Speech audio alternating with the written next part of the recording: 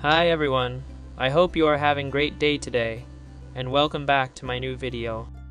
On this tutorial, I'm gonna show you downgrade iOS 18 to iOS 17 without data loss.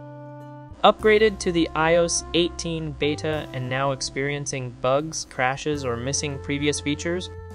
Beta software can be exciting with its sneak peeks at new features, but it can also be unstable. Maybe your favorite apps aren't compatible yet, or the battery life is draining faster than usual.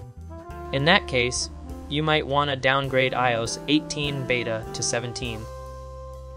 Please check this out. Let us tell you more about how Tenorshare ReiBoot helps you downgrade iOS 18 beta to 17 without losing data. The biggest advantage of using Tenorshare ReiBoot is that it's jailbreak free. Jailbreaking, while sometimes used for customization, can be risky and potentially compromise your device's security. Unlike iTunes, Tenorshare ReiBoot takes the complexity out of downgrading your iPhone. Forget manual recovery mode or hunting for the right IPSW file. ReiBoot automates the entire process, making it perfect for beginners. Simply connect your iPhone and click a button no technical knowledge required. It is the easiest way for iOS 18 beta downgrade. Most importantly, the tool supports all iPhone models, including the Newset iPhone 15 series. Follow these simple steps to downgrade iOS 18 beta to 17 without iTunes using Tenorshare ReiBoot.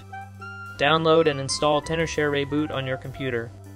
Connect your iPhone to the computer. Click the iOS upgrade or downgrade option. Click on downgrade to start the process.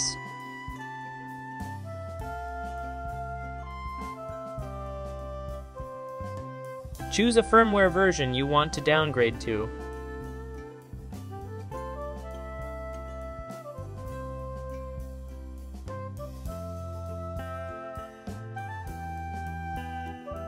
Tap Initiating Downgrade and wait for a few seconds.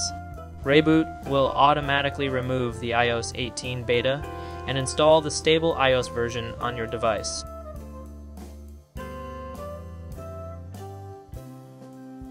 Click Done when finished.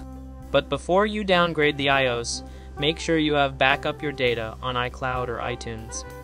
Then, when you downgrade and see Hello Screen, you click Restore the data from iCloud or iTunes.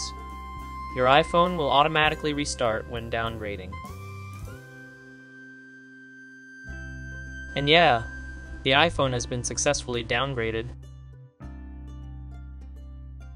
Downgrading iOS 18 beta to 17 can be a tempting solution if you're encountering issues with the beta version. However, you need to be careful as downgrading comes with potential risks. By following the step-by-step -step methods mentioned in this article, you can easily downgrade to iOS 17. And if you're afraid of the jailbreaking risks, try Tenorshare ReiBoot for a safe downgrade and enjoy the stability of iOS 17.